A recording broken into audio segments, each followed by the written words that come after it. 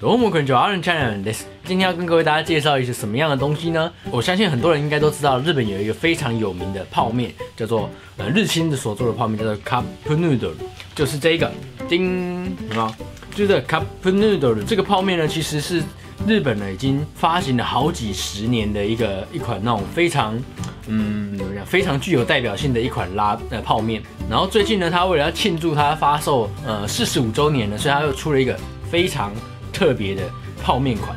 大家知道这种泡面里面呢，它有那种那种干燥的肉嘛，然后那种肉呢，就是不知道是叫什么肉哈，所以说日本人他们都称呼它为拿州尼克，就是迷之肉啊。不过其实它就是用鸡肉跟猪肉混合出来的一种肉了。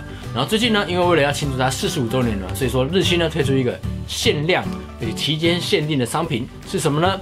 就是这个，天，嗯，Big Cup Noodle。拿走尼克赛，对，就是这一款那个呃，cup noodle 的那个迷肉剂，就是马刺里的祭典的意思。然后就说它呢，据说呢会比我们平常所吃的这个这一种的一般的包装里面呢的肉呢多出了十倍，多出了十倍的肉。呃，其实呢这个呢已经推出了有一点有一一小段时间了。不过呢，因为据说呢就是卖的还不错，所以说它最近呢已经停产了。卖的还不错，所以停产。就是他可能怕会打坏市场还是怎么样，我不是我也不是很清楚。所以说他现在呢已经，呃，一般的通路上会比较少看到。不过阿伦也还蛮幸运的，是在呃日本的 Seven Eleven 呢就看到了这有在卖这一款。不过呢，它也上面也有写说卖完的话他们就不会再进货了。所以说如果最近有机会来日本的话呢，可以来找找看这一款泡面哦。然后到底它这款迷肉记里面的泡面呢，跟我们这个一般的泡面到底有什么差别呢？我们现在马上就来打开来为各位大家来。看一下，看看这两款到底有什么差别吧。好，我们现在马上就把它打开来看看吧。像现在画面右手边呢，这个是迷肉记，然后左边呢是我们一般的口味。然后我们来先看看一般的口味里面大概是长什么样子吧。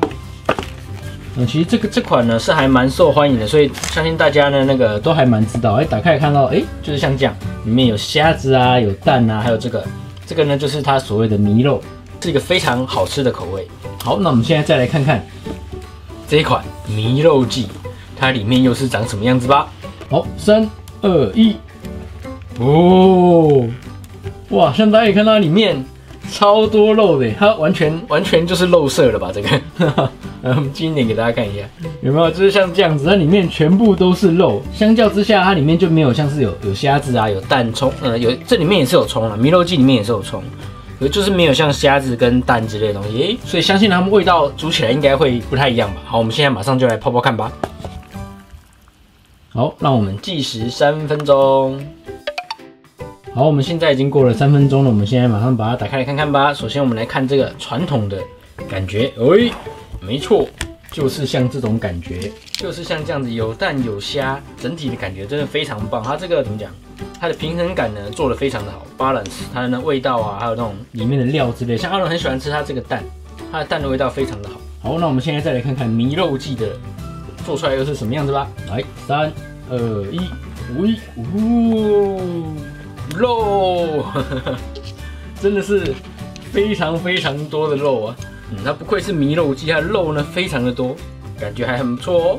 好，现在又到我们最开心的试吃时间啦。首先，我们来先吃这个原版的，就是原本的口味是什么样子的，这样来做比较呢，可能会比较精准一点。嗯，首先蛋，嗯，甜甜的还蛮好吃的。然后我们来喝一口它的汤好了。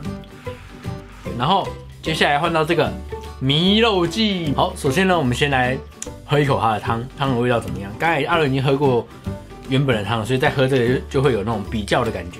来，我们来喝喝看。好像没什么感觉，再喝喝看。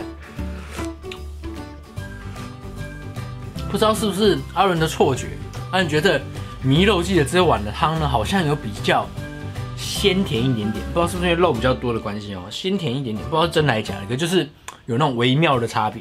好，我们现在来吃看迷肉记的肉，嗯，咸咸的，还蛮还蛮配面的那种感觉。呃，另外除了迷肉季的泡面之外，它里面还有这个像这种红红的东西，大家快粘在筷子上，不知道大家看不看得到？就一个红红的这个有没有？这好像是辣椒皮，对，可是不会辣，完全不会辣。所以说，如果怕吃辣的人也不用担心。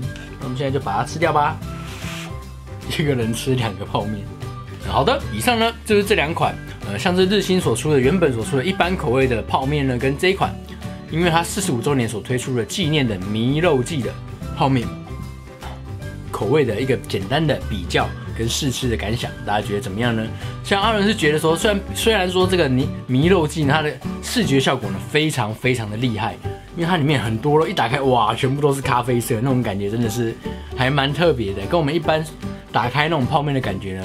感觉真的差蛮多的，而且它的口味呢也还不错。不过呢，跟这个原本的 original 他们最经典的这个口味比起来，阿伦觉得呢还是两个互相比起来还是这个略胜一筹。因为它除了有肉之外呢，它里面还有像是虾子啊、蛋之类的东西啊。我觉得它的那种怎么讲，balance 就它的那种平衡感，各个食材的平衡感呢非常的好，非常的好吃。所以两个比起来，让人觉得还是觉得说，嗯，这个。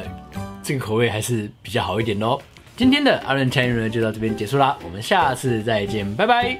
呃，阿伦 channel 呢主要是跟各位大家介绍阿伦在日本的一些所见所闻啊，也像是一些比较新奇的产品啊，或者像这种这种迷肉季限定推出的迷肉季的泡面的一些介绍等等。呃，另外呢，偶尔还会有一些像旅游啊，或者一些呃阿伦在外面说日本的一些实际等等的影片的介绍。有有兴趣的欢迎订阅阿伦的频道来追踪阿伦的第一手的影片资讯。另外呢，这两边是阿伦其他的影片，有兴趣的人不妨点进去看看。还有阿伦还有 Facebook 粉丝页，请不要忘记帮阿伦一个赞哦。それではまた皆さんお会いしましょう。等你哦。